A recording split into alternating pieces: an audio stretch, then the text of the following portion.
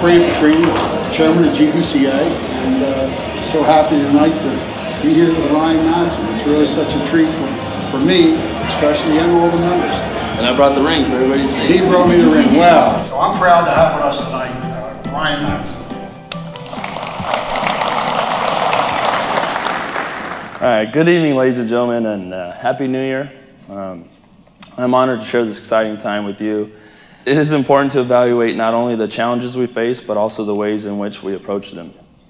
2010 was a year, of, as you've heard, full of challenges for me. Um, as many of you know, I was injured. Unable to play ball, I felt like I had let my team, my family, and myself down.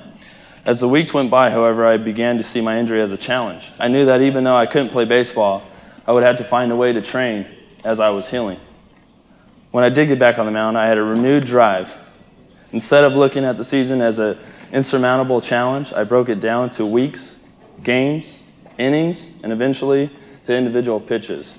It felt great to be on top again, and by focusing, I ended up having my best season ever. In the coming months, I, will, I would see another great challenge.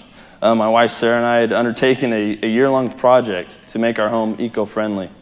We had embarked on this journey for several reasons. Most importantly, we know that conservation has become increasingly important as our planet struggles to meet the challenge of environmental devastation.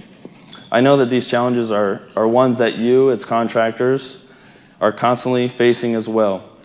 I hope that our new green home can make a positive impact on our community and our environment. I hope that my visibility as an athlete will inspire others to invest in green initiatives as well. Just like I'd focus on my pitching and playing the best game that I could, together as a community, we can channel our focus and rise to the challenge of protecting our planet. The most grateful beneficiaries of this work will be our future generations. They are certainly worth protecting. And I got drafted in 98 by the Phillies, so I've been here for a lot longer than most of you probably know. And um, I just, I call this place home now. I know a lot of, a lot of athletes say that, but I literally do live here still. I'm probably the only one left. Uh, shoveling the snow, uh, paying the kids when it gets too high. My back gets tired. And, and especially when people drive by and say, you shouldn't be doing that, protect that arm. So I just, I just hire the kids now.